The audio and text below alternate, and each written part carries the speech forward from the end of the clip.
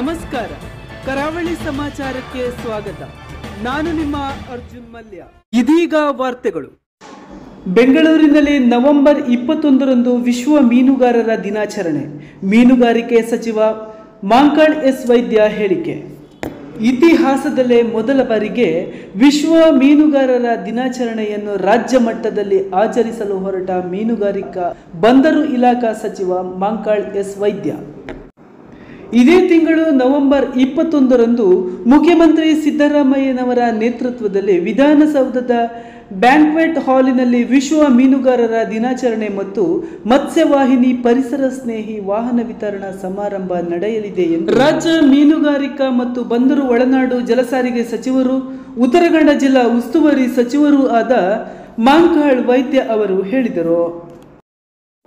ಭಟ್ಕಳದ ತಮ್ಮ ಕಚೇರಿಯಲ್ಲಿ ಕರೆದ ಪತ್ರಿಕಾಗೋಷ್ಠಿಯನ್ನು ಉದ್ದೇಶಿಸಿ ಮಾತನಾಡುತ್ತಾ ಕೇಂದ್ರ ಸಚಿವರಾದ ಶ್ರೀಮತಿ ನಿರ್ಮಲಾ ಸೀತಾರಾಮನ್, ಎಂ. ರಾಜೀವ ಚಂದ್ರಶೇಖರ್ ಉಪಮುಖ್ಯಮಂತ್ರಿಗಳಾದ ಡಿ ಕೆ ಶಿವಕುಮಾರ್, ವಿಧಾನಸಭಾ ಅಧ್ಯಕ್ಷರಾದ ಯು ಟಿ ಖಾದರ್ ಅವರು ಈ ಕಾರ್ಯಕ್ರಮದಲ್ಲಿ ಪಾಲ್ಗೊಳ್ಳಲಿದ್ದಾರೆ ಎಂದು ತಿಳಿಸಿದರು.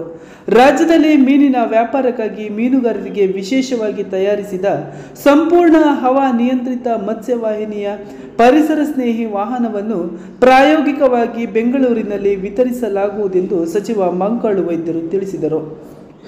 ಇತಿಹಾಸದಲ್ಲೇ ಮೊದಲ ಬಾರಿಗೆ ಕೇವಲ ತಾಲೂಕು ಜಿಲ್ಲೆಗೆ ಸೀಮಿತವಾಗಿದ್ದ ಮೀನುಗಾರರ ದಿನಾಚರಣೆಯನ್ನು ರಾಜ್ಯ ಮಟ್ಟದಲ್ಲಿ ಆಚರಿಸಲಾಗುವುದು. ಮೀನುಗಾರರಿಗೆ ಇನ್ನು ಅತಿ ಹೆಚ್ಚಿನ ಮಟ್ಟದ ಸೌಲಭ್ಯಗಳು ಪ್ರಾಮಾಣಿಕವಾಗಿ ದೊರಕಿಸುವ ಪ್ರಯತ್ನವನ್ನು ನಡೆಸಲಾಗುವುದು. ಮೀನುಗಾರರು ಯಾವುದೇ ಕಳವಳಕ್ಕೆ ಈಡಾಗುವ ಅಗತ್ಯವಿಲ್ಲ. ಅವರ ಬೆನ್ನಿಗೆ ಇಲಾಖೆ ಯಾವತ್ತೂ ಇರುತ್ತದೆ ಎಂದು ಸಚಿವ ಮಂಕಾಳು ವೈದ್ಯರು ಆಶ್ವಾಸನೆಯನ್ನು, ಭರವಸೆಯನ್ನು ನೀಡಿದರು. ಪತ್ರಕರ್ತರಿಗೆಲ್ಲರಿಗೂ ನಮಸ್ಕಾರ.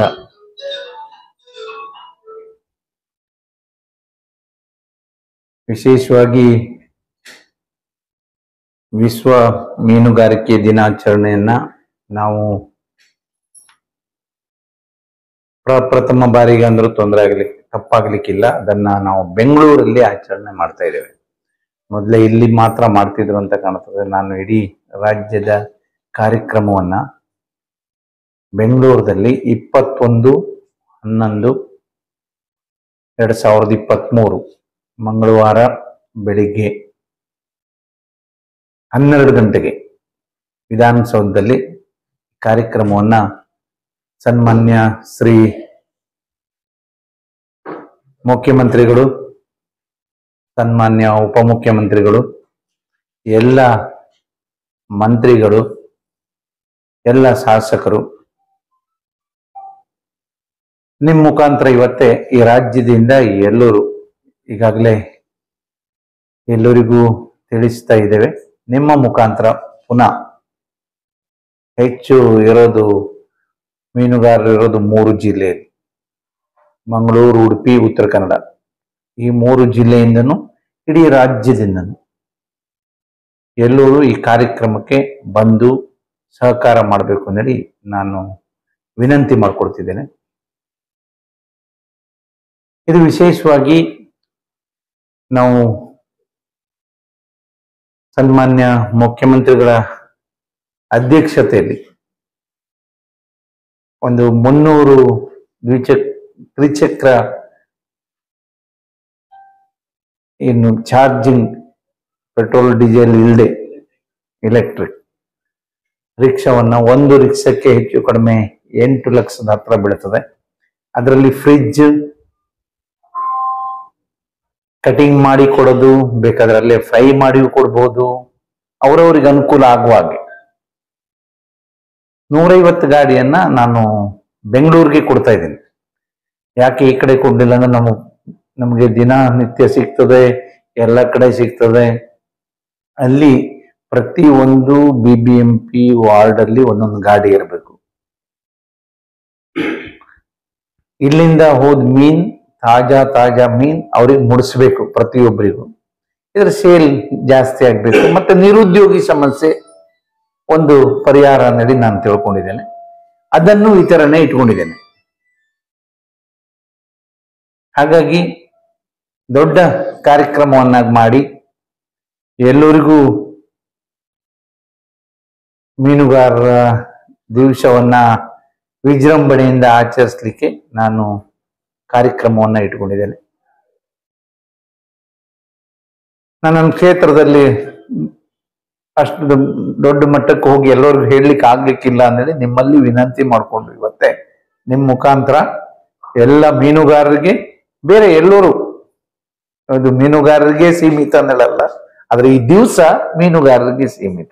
ಅಂದ್ರೆ ದಿವಸವನ್ನಾಗಿ ಇಟ್ಕೊಂಡದ್ರಿಂದ ನಾನು ವಿನಂತಿ ಮಾಡ್ಕೋತೇನೆ ಮುಖಾಂತರ ಎಲ್ಲ ಮೀನುಗಾರರು ಈ ಕಾರ್ಯಕ್ರಮಕ್ಕೆ ಸಹಾಯ ಸಹಕಾರ ಮಾಡಿ ಅಂದ್ರೆ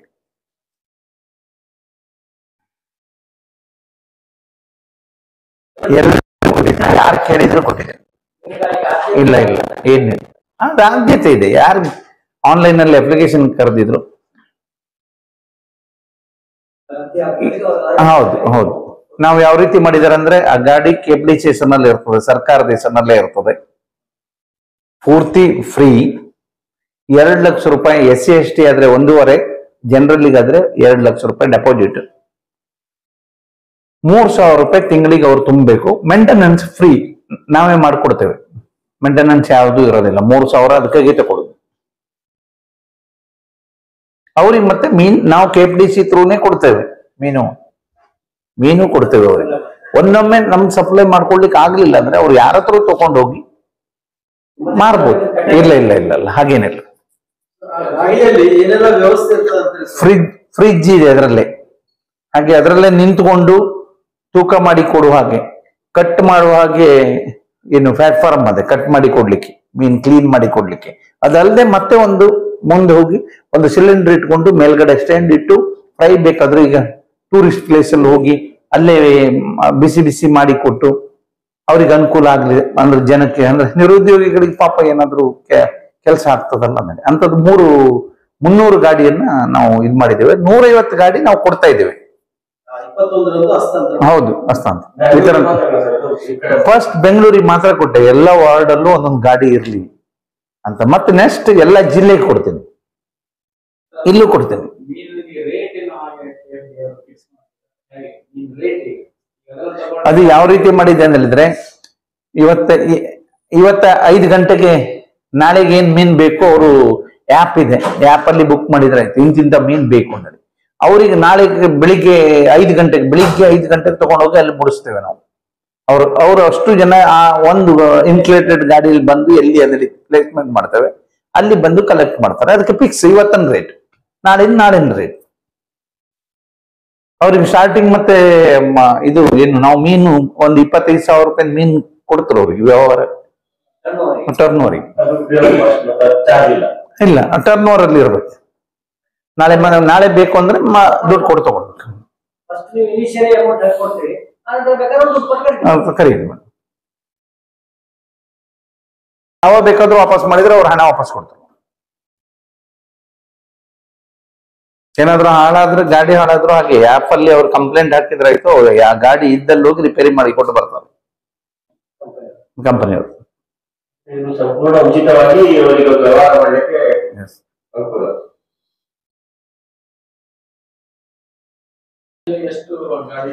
ಇಲ್ಲ ನಾನು ಪೂರ್ತಿ ನೂರೈವತ್ತು ಬೆಂಗಳೂರಿಗೆ ಕೊಟ್ಟಿದ್ದೀನಿ. ಈಗ ರೆಡಿ ಇದೆ ಮತ್ತೆ ನೂರೈವತ್ತು ಇದೆ. ಒಂದ್ಸಲ ಲಾಂಚ್ ಮಾಡಿ ಬೆಂಗಳೂರಲ್ಲಿ ಮಾಡಿ, ಕಡೆಗೆ ಎಲ್ಲ ಜಿಲ್ಲೆಯಲ್ಲೂ ಕೊಡ್ತೀನಿ. ಪ್ರತಿ ಜಿಲ್ಲೆಗೆ ಡಿಮ್ಯಾಂಡ್ ಇದ್ದಷ್ಟು ಕೊಡ್ತೀನಿ. ಮತ್ತೆ ಬೇಕಾದ್ರೆ ಜಾಸ್ತಿ ಬೇಕು ಅಂದ್ರೆ ಜಾಸ್ತಿ ಕೊಡಿಸ್ತೀನಿ. ಒಂದು ಏನು, ಒಂದ್ಸಲ ನೋಡುವ ಅಂತ. ಹ್ಮ್.